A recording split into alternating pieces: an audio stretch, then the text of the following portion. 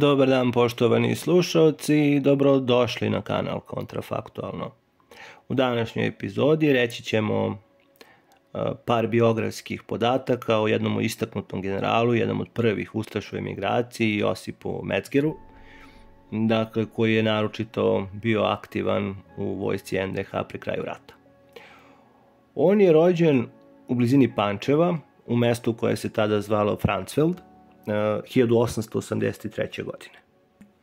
Završio je Austrugarsku kadetsku školu u Trstu i postao je austrugarski oficir, imao je čin pešadijskog kapetana.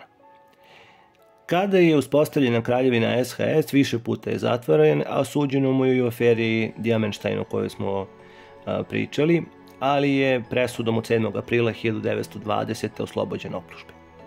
Nakon toga beži u Mađarsku i uglavnom živi u Velikoj Kanjiži ili Nađ Kanjiži. Jedno vreme je bio čak i mađarski oficir. Među prvima se priključio Ustašama i bio je vrlo aktivan onom krilu koje je delovalo na prostoru u Mađarski. Imao je čak i, pa da kažemo, neko konspirativno ime koje je bilo Ferenc Falvi. Zapovednik je logora e, Zale Gerzeg, a zatim u Janka pusti. I to sve, dakle, puč, sa početka emigracije. 1933. Pavelić mu dodaljuje čin ustaškog potpukovnika.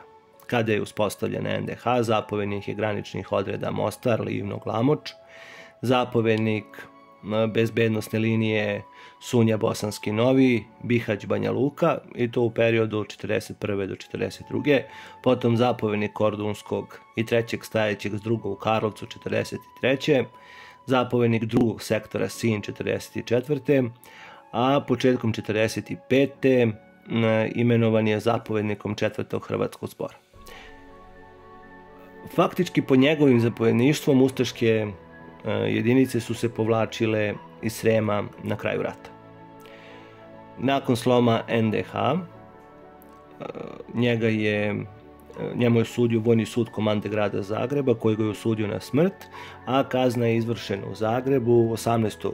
juna 1945. godine.